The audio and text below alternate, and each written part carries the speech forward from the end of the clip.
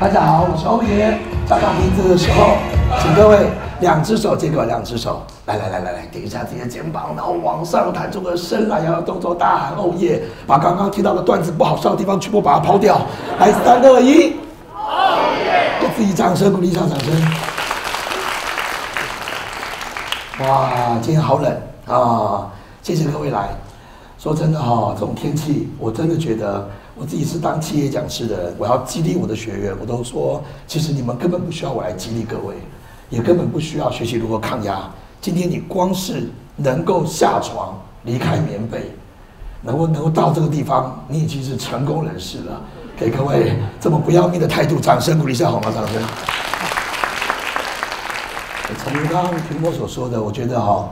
一瞬间，我这两天就觉得你们比我们更热爱脱口秀，而且哈，真的，我问一下好了哈，这个你曾经有听过我们三个任何人一个人的这个演出的，还有或者是上一次去年这个欧巴区九十一月份演出的时候有来过的，请举手。有来过的这些人，我真搞不懂你们呢。这一样的东西，你可能还会再看一次，你知道吗？啊，不过 Q 猫很棒啊，Q 猫他是个很认真的人，他上一次自觉自己讲不好。哦，他说我也对不起你们，哦，我开场也没讲好，那你们后面很难接。我说不会不会，我们也没有对你有什么期待，但是不行，哇，因为他呃资历已经十年了，牛毛哈，所以他说不行，欧爷我我我要单独跟你们合作，我要我要讲新段子，对啊，为了这个跟他效法，哇这。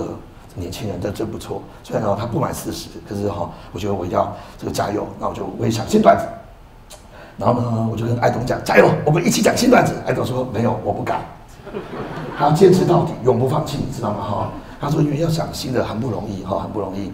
那听完了刚刚这个 Q 模的段子了以后，我也在后台觉得，有的时候朋友还是老的好啊。呃，就是他已经尽力了，哈，尽力了。而更重要的一件事情是哦，各位发现我今天声音是沙哑的，懂吗？我问一下后面听得清楚吗？啊，听不清楚的问旁边好吗？我们上课都是这样哈。OK，假设尽力了哈，你问旁边，然后都说老师是你不会教，你没有用心。真的啊，一个教育训练为什么常会被他说没有用啊？没有用，因为你课后不去使用。来，请跟我念一遍，课没用，因为我没用。然后每个人课没用，我没有，再傻一点，课没用，我没有了。每个人喝我没有用，我没有用。你只要把责任丢还给他就可以了。企业讲师，我们就维持一个气场啊，这个气场的概念。不过，因为我工作是要负责呃激励大家，然后呃讲课呢，希望大家在笑声当中做学习。自己的喜欢脱口秀，也是希望喜欢看到开心、开心、快乐啊。就因为这样哈，我喉咙也容易讲的比较快。为什么？因为我只要自己听到好笑的、有趣的事情，我都笑得很大声。今天为了治我的喉咙，我上午第一堂课讲完，喉咙就锁住了。然后上午是今这个礼拜我讲课的第十一场，然后下午第十二场的就很紧张，然后就赶快去打针，要去打针。然后医生呢就苦口婆心的说：“哎呀，这个喉咙肿得厉害了。”我是讲师，我下午还要讲课。完了。还要脱秀表演，脱秀人，他脱秀，他说什么什么秀都不重要了。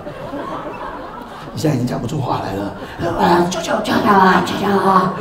真的，今天中午十一代就这样，了知道吗？哦，我一直想着，哇，这样我怎么教课？后来你知道吗？我传播跟我讲哈，老师其实你不一定要去打针哎，你这样哦，更能够说服大家，大家会觉得这可能是你人生当中最后一场演讲的，他会很认真的听，你知道吗？一定要这样子嘛，哈。然后医生啊，最后喷个药啊，然后说待会可能会帮你打针。我说好，反正现在什么方法都好哈，真的啦，劝你了哈。那如果今天还有工作要做的话哈，就是少说话哈，多喝水。他有听懂我是讲师吗？那不然好了，我们待会就放影片好不好？医生做的要话要听啊，要听哈。而且今天中午哈，我我来去去打针的时候，因为我去万华一家诊所，因为那时候离我讲课最近的地方，这附近都没有，就赶快搜寻，然后就赶坐计程车去。那一去以后，万华都是一些资深的一些妈妈，然后他们就这样看着，都是那种，我们这种年纪在二零年前都是小孩子那种感觉。啊，打针呐，打针呐！我说哦好，他说要脱衣服，一脱啊里面是卫生衣，你知道吗？哦很松，然后贴很紧的，然后。小莲嘞，哇，看你这么胖，这么胖也怕冷哦。这种心中已经有答案的问题，就不要再问别人好了。当下哦，就火大，怎样？胖子不能怕冷吗？我我脂肪多，我我我不怕。他说哦，胖子果然不怕冷哦。各位，这段笑话的出处是来自于卡米蒂的一个演员，叫做大可爱。OK，因为我曾经因为没标明出处，到最后被人家念。OK，好，我们今天特别标明出处，好吗？哇，这么一样，今天听到类似这样的话，我就觉得我说阿桑很开心吃下豆腐，然后我这边拖半天就拖不下来，你知道吗？他说啊。打屁股，打屁股，接着讲师什么打屁股，然后来，还是我帮你拖，哎，好熟悉的万华的对话，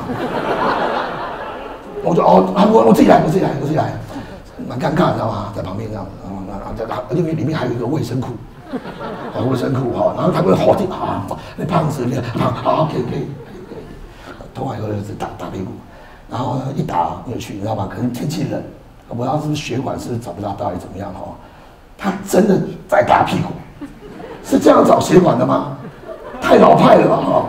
抓过来我真打真打，什么习惯的哈？你爸爸不要动，好放松，很难放松啊！冷冰冰的手要扒上来，这样打屁股，这样找血管的，打牌，还我说不要动，被羞辱的感觉，而且还有说你一直动我进不去，哎呀，好奇怪的对话。好像位置相反了吧？哦，哇，总之这这是很不爽，你知道吗？哦，所以我，昨天其实哦，我从高雄讲完两场的课之后，赶回台北，然后呢，有时候甚至心想，我真的一定要到吗？他们两位表演都比我好了，我一定要到吗？可今天不一样，各位啊，都这种羞辱了，我一定要到，这真最好是有用，你知道吗？哈，所以今天声音这样听得到吗？好，那我可能还会再去一家那家那次的诊所哈，这个羞辱是有用的哈，有用的。不过哈，这个我更开心一件事情是，我可以跟 Q 莫还有爱董一起合作。爱董啊，各位认识他吗？啊，没有请你们今天会重新认识他。他是一个什么样，你知道吗？哈，这家伙真是的哈，在在后台啊，有我们我们在准备新段子的人，你知道旧段子就是游刃有余。你不知道，哎，怎么样？可以啦，可以啦，你 Q 莫哎，你记得讲师呢，哈哈哈，就讨厌。讨厌，你知道吗？讲究的是了不起啊！哈，那我们就啊，那边想事情的时候，他就旁边跟着 Q 妹在讲话。这样我想说，打字不要理他，不要理他。他就说，你知道吗？哎呀，元毛，来来，你知道怎么样解释一个国家的这个首都最有趣吗？啊，Q 毛那时候在准备段子，呃，啊，Q 毛是还是会客气的回应爱董的人，呃，怎么解释呢？然后艾总就说：“我跟你讲啊，你要怎么介绍哥本哈根？你要怎么介绍？就是哥哥哦，本来很哈哈哈在玩那一根，哈哈。后来我满脑子都是这个东西，气死我了。他说我待会要一直讲这个，我现在就把它讲掉。然后待会不知道讲什么，气死人了。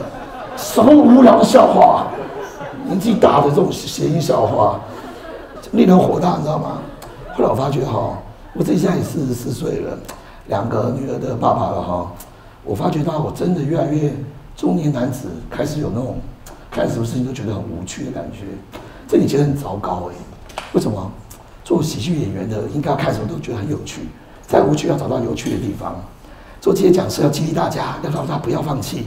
可是现在你知道吗？每次上课啊，这么冷，他一过来的表情，像我的告别式的感觉一样。我还在激励他们，丧礼有人在激励大家的吗？对不对哦？他说他们终于笑了以后哦，机场现在我自己都快要往生了。所以哦，我就会发觉到，当一个人累的时候，特别容易觉得一切都很无聊，脾气也变得比较暴躁。尤其哦，我们又平常又是学员叫我们，我们要热情回应，哎，怎么样啊？怎么样？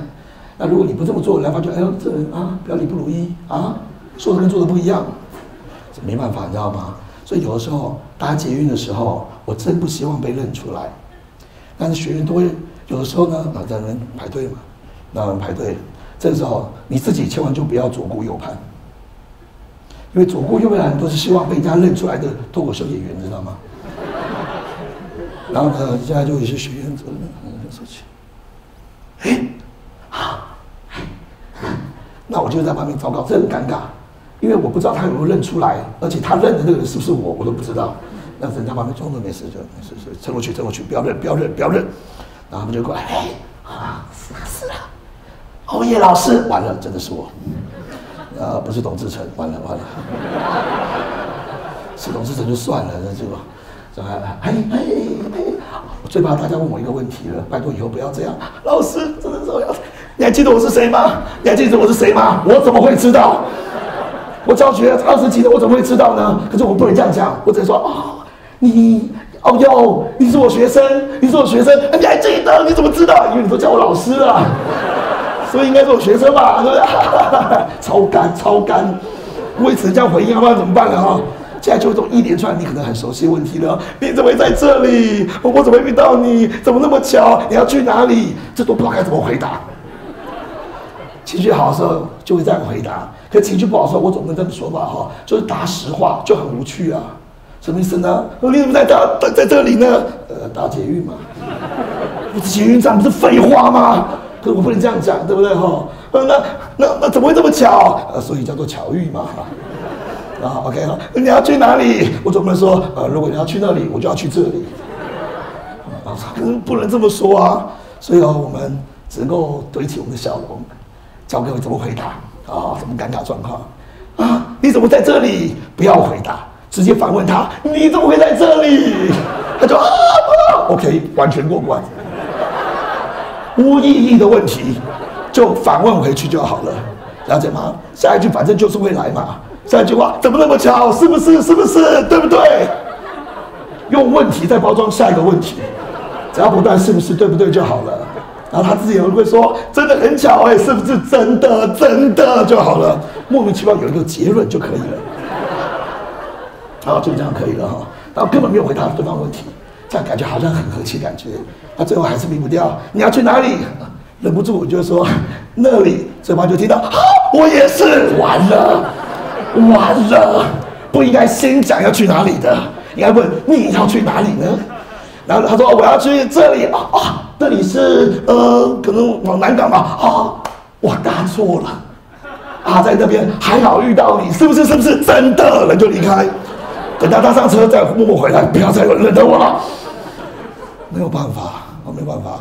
但是心情好的时候才有办法这样回答，心情不好的时候呢，我真的觉得现在哈，疫情关系我们戴口罩，哎，真的反而比较好哎，戴口罩比较不会有人认识你。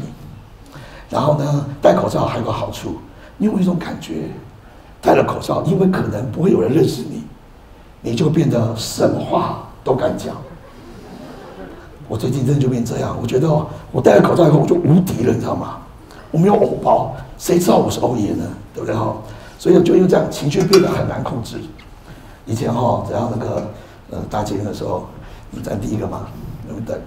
就会有一种生物很强大。这种阿丧哦，他就完全不管这边有没有人，然后这样，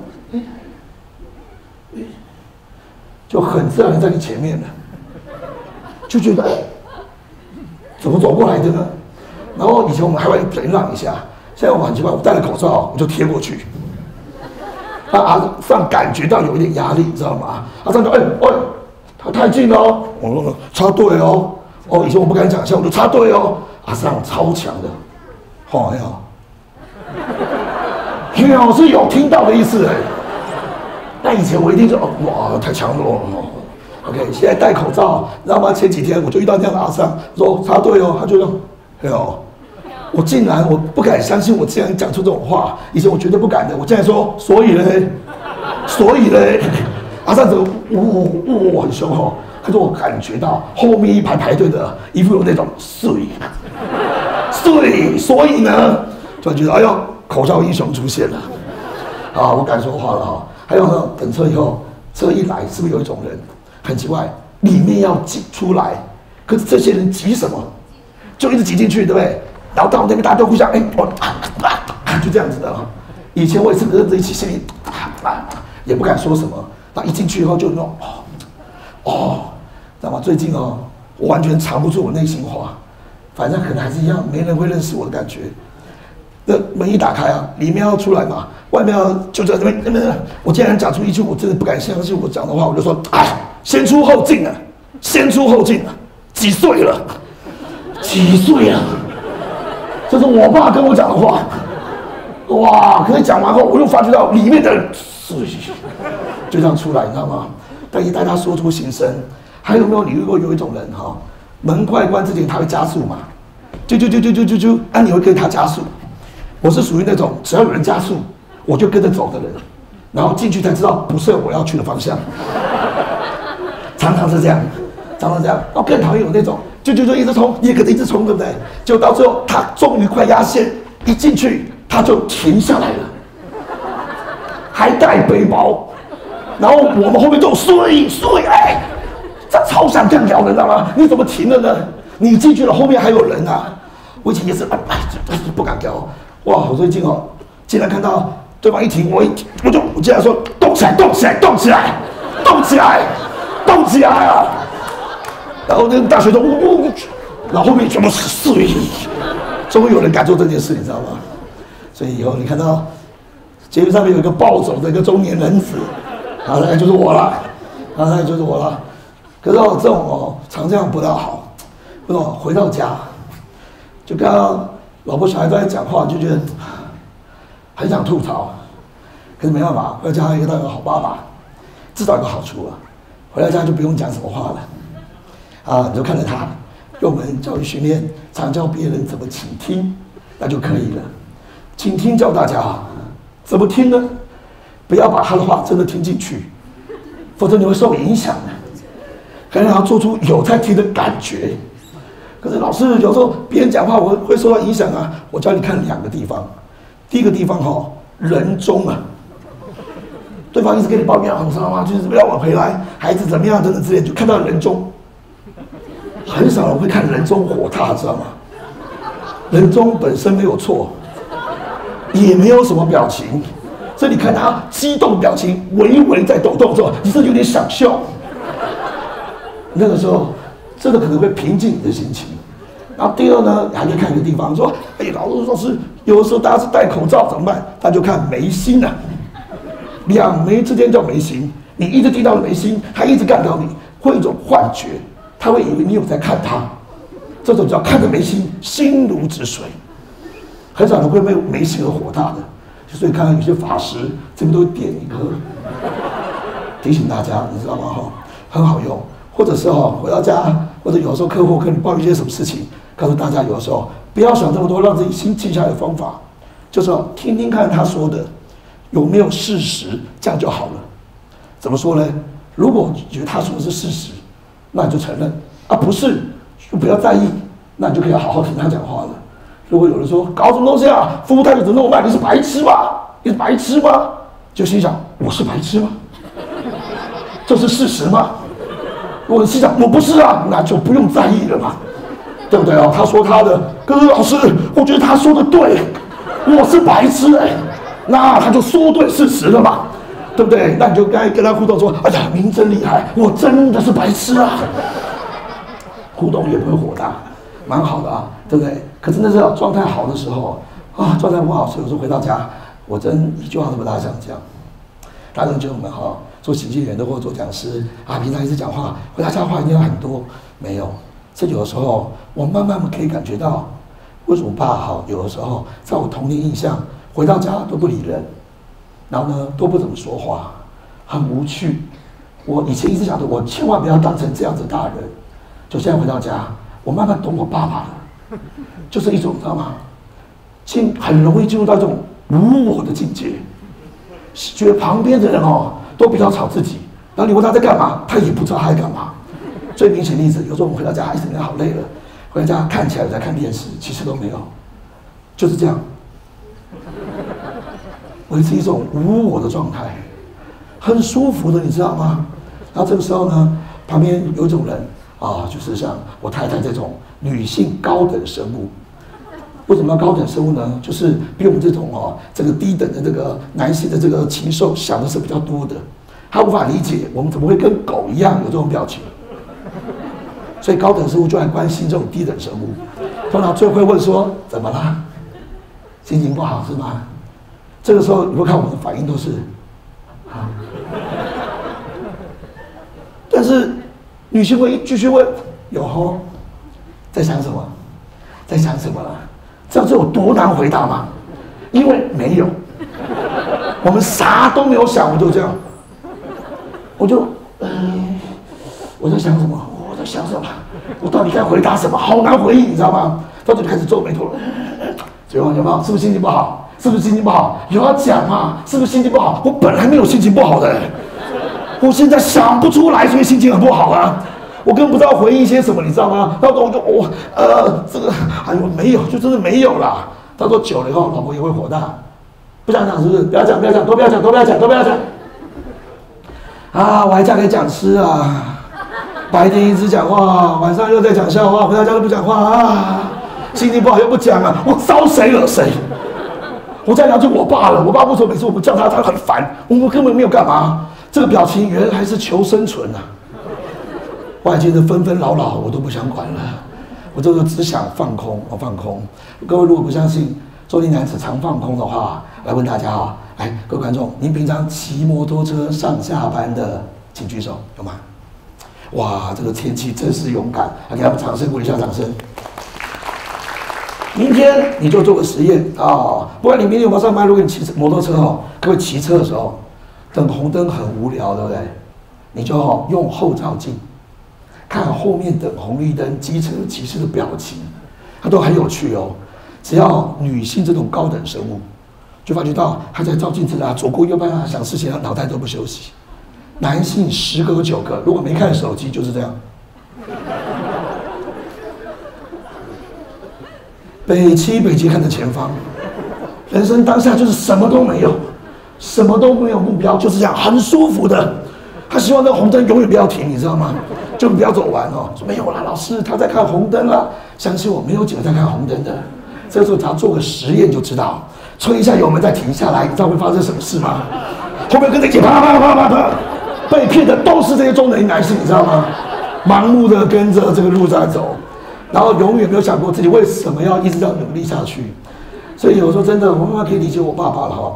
不过我真的觉得哦，小时候我也是一个一直都很有趣的人啊，会讲一些有的没有的。可是哦，最容易阻止我就是我爸。比如说哦，我们家客家人啊，有时候三年都要拜拜，他就问不知道大家是不是有这个习俗，就拜拜的时候一定要讲你是谁，讲你是谁，然后我爸就开始啊，有谁，还有谁，还有谁，我们家族很大，就我在旁边说，我就在旁边会自己默默哈，一个清单烧给阿公就好了。阿公又识字，不要讲话。我爸又哦，还有谁重讲？你知道吗？这有道理啊，怎么要念那么多嘞？哦，然后我就自己在那边笑说，跟我那个堂弟在讲说，那我要叫欧爷还是叫曾爷好呢？对不对哈？啊，那上面有网路嘞啊，呃，搜寻到这一行根本找不到我，不要打。啊，反正就是这样，而且每次我这边这边摸摸，这样烧收得到吗？收得到吗？所以我爸说，所以才要讲是谁烧的。知不知道？你们每次烧的时候，大家是谁烧的？哦，超烦的。所以每次我们在烧的时候，我们就说啊，是谁谁烧给你？谁烧给你？还讲住哪里？为什么？收件人是那边呢？啊，为什么是要讲我们？才知道我们家住哪边，才保佑我们啊？饶过阿公吧！阿公已经走很久了，还保佑我们，我们也太不孝了吧？三姐就准备那些东西，阿公都饿了很久了，还没投胎等我们吃这个吗？不要开玩笑，我认真啊！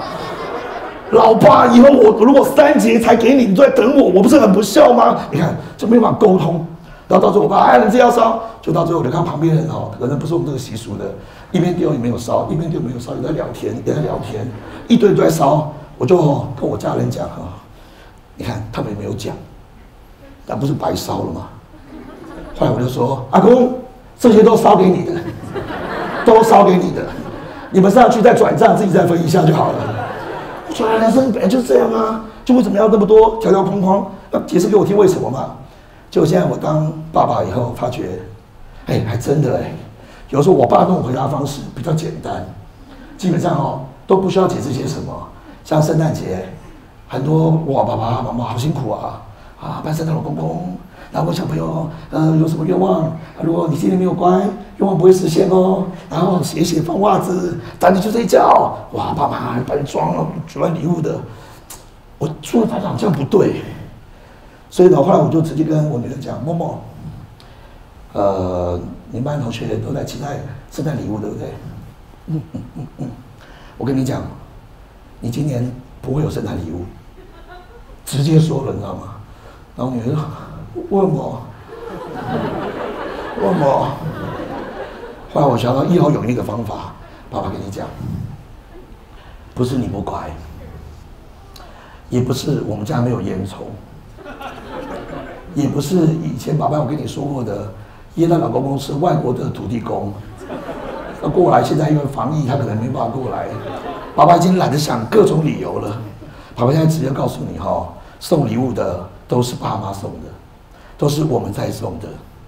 然后我就问他，如果你乖一年，去为难一个老公公，想办法越过其他地方跑到我们家，又不会被认为是小偷，然后你今一年只能可能会得到一次礼物，跟爸爸因为你表现好，送你很多次，一次很多次，选几次很多次，好，OK，结束这回合。那爸爸今天比较忙，那你要吃蛋卷冰淇淋吗？好，十五块解决这一切，你知道吗？但是哦，旁边那桌的在旁边，嗯，爸爸明天生日我会不会来？怎么就这样？爸爸是真的吗？他爸爸不知道该怎么解释。后来到时候我就真的看到爸爸，我就心里想着，你以后就只要这么样回答，小孩子以后就不会受伤，就不会有期待，是他会感恩，感恩爸爸妈妈那么辛苦啊，那么辛苦。但是渐渐的，我也发觉到，我已经越来越像我爸爸了，好无趣，好无聊。然后我很不喜欢这样的自己，怎么办？在我们剧团在排练的时候，我只能够持续的要求我自己，是他们排练的时候我是要笑的最大声的那个，而不是因为我自己这个笑点本来比较低，但是因为你不觉得吗？笑是因为哈，你真诚的笑，喉咙才会烧香。这两天我一烧香，旁边就有人说：“老师，发声位置要改，复试发声。”我我知道。你不觉得复式发声很假吗？如果说你朋友讲个笑话，你笑了很好笑，一直 很正常。当然你是我，真是太有趣了，是不伤喉咙啊，伤友谊啊，知道吗？那我的剧团伙伴他们表演一直希望我笑，结果我就是当然啊，笑真的是放声大笑，笑完每次排戏完喉咙都烧香，因为我觉得他们会需要这样的鼓励。确实，我也是笑点很低的人，而回到家累了，孩子说什么我也尽可能笑，不吐大槽。这样子直到最近工作越来越忙，然后陪孩子时间又变得越少了。我小女儿爹爹现在快要两岁了，话都不大会讲，都学她姐姐接后面的话而已。然后只是每天早上都很早就醒过来。家长真不希望孩子早起，至少在自己还没有起床之前。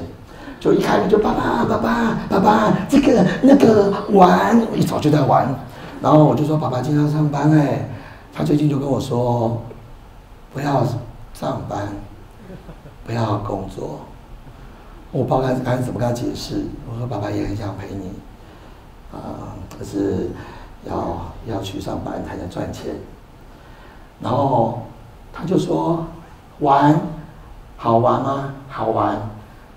好好玩，可是一直做就不一定好玩了。爸爸会尽量在你面前表现开心，这样你们才有可能想要长大。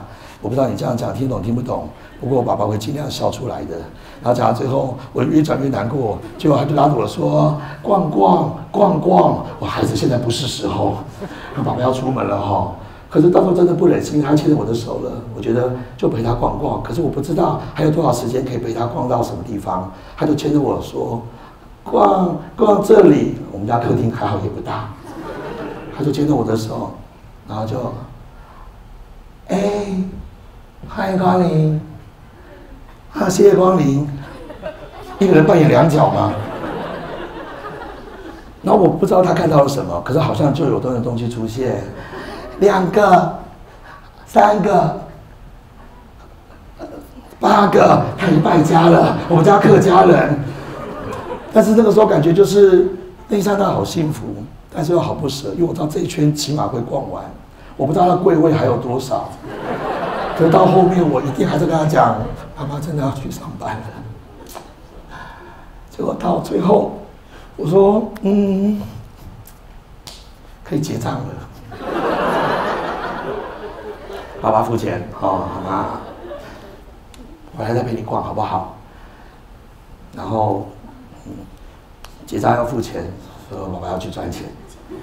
我不知道他真懂还假懂，他竟然想一想看着我，爸爸加油，Go Go Go，到底是要多爱买东西嘞哈？马上就能转念。讲完以后，接下来我就开门准备要走了，走之前再回头看一下。像我以前大女儿，这个时候一定会依依不舍。结果小女儿很有趣哦，她我以为她会泪眼婆娑的看着我，因为我已经泪眼婆娑了。再回头看，她竟然呃，再五个、八个，客厅没有人，你知道吗？我觉得有点害怕。可在他那想象力栩栩如生的十三的世界里面，我觉得那应该是很有趣的吧，就跟我小时候看什么都很有趣一样。当我心情好时候，看什么都很有趣一样，发觉。他们会一直有趣下去的，我可能才是一个尽量不要让自己无趣的人。而有的时候，我也会在意大家觉得我们段子好不好笑，大家留言是怎么样。也是我大女儿，我在猜，听说我太太跟她讲些什么，他突然跑来跟我讲：“爸爸是怎样？还好吗？这么快就学你妈妈了吗？哈，我无法跟他讲，爸爸正在求生存哈。可我还是哎哎哎，可是那阵子真的心情会受到一些影响。”自己知道要继续在做喜剧这件事情？然后我就是说不大好，我也不知道为什么，我就实话实说，我就说不大好。结果我女儿想一想，若有所思，他竟然拍拍我说：“没事的。”我想又不知道宝宝什么事，知道哪学的。然后到最后，他就说有一句话，他说：“总会有人觉得好笑的。”完全被击中，然后我就心想：孩子慢照，你给他看了什么东西？YouTube 看乔虎就好了，不要看爸爸的段子。然后他就一打电话：“爸爸，我觉得很好笑啊，你的很好笑啊，你很好笑。”我说：“你又听不懂，看到你就很好笑。”这应该对一个喜剧演员是一个最高的一个评价了哈。但我突然发觉，至少有一个人会觉得好笑，会觉得有趣，不管他听懂听不懂。然后最后他告诉我一句话：“说爸爸。”我觉得你很厉害，可是我比你更厉害。我说什么事？因为我觉得啊，我的爸爸比你的爸爸还要好笑。至少我还超越一个人，我爸爸。所以我希望我永远永远可以让自己一直维持在看什么都有趣的状态。而我也想告诉我的孩子，告诉大家。不管这世界发生多无趣的事，你永远可以把它认为那是有趣的事。就像莫名其妙被阿三挨了一针，被吃了豆腐，我也可以拿来当成段子，真实段子讲给他。这段不用标明出处，因为是我自己讲的。谢谢大家，我是欧爷，谢谢。